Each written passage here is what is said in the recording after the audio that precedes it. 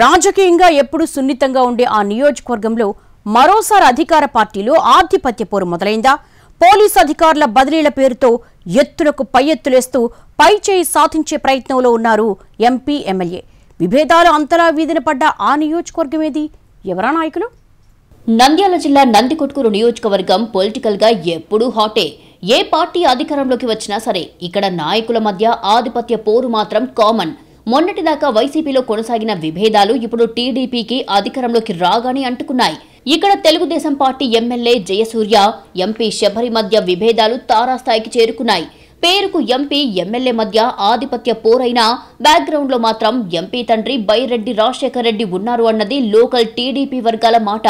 అలాగే Byreddy Nandyal parliament incharge Mandra Sivananda Reddy మధ్య కూడా ఆధిపత్య పోరు కొనసాగుతోందని అంటున్నారు.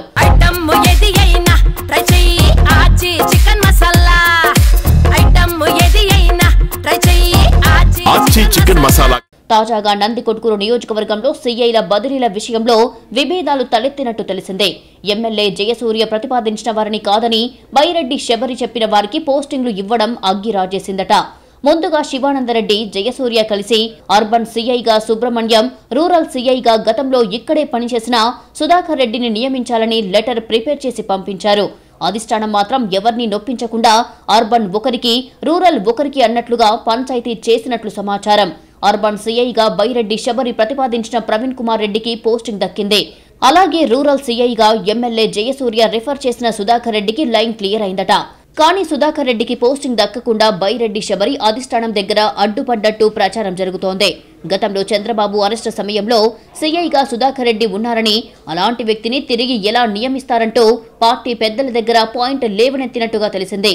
దాంతో వెంటనే ప్రాధాన్యతలు మారిపోయాయట.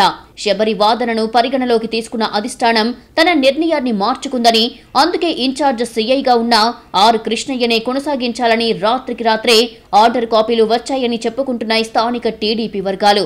దీనిపై గుర్రుగా ఉన్న ఎమ్మెల్యే ముఖ్యమంత్రి చంద్రబాబు శ్రీశైలం పర్యటనకు వచ్చినప్పుడు పంచాయతీ పెట్టినట్టు సమాచారం. అయినా ఆ విషయానికి చంద్రబాబు పెద్దగా ప్రాధాన్యం ఇవ్వలేదని తెలిసిందే. మొత్తం మీద సీఐల ట్రాన్స్ఫర్స్ రూపంలో నందికొట్కూరు టీడీపీలో వర్గ విభేదాలు మరోసారి భగ్గుమన్నాయి. ఎమ్మెల్యే ఎంపీ వర్గాల మధ్య అధికారులు నలిగిపోతున్నారన్నది నియోజకవర్గంలో హాట్ టాపిక్. మరి పార్టీ పెద్దలు జోక్యం చేసుకుని ఇద్దరి మధ్య సయోధ్య కుదురుస్తారా? లేక వదిలేస్తే అవే సర్దుకుంటాయన్నట్టుగా వదిలేస్తారా అన్నది చూడాలి.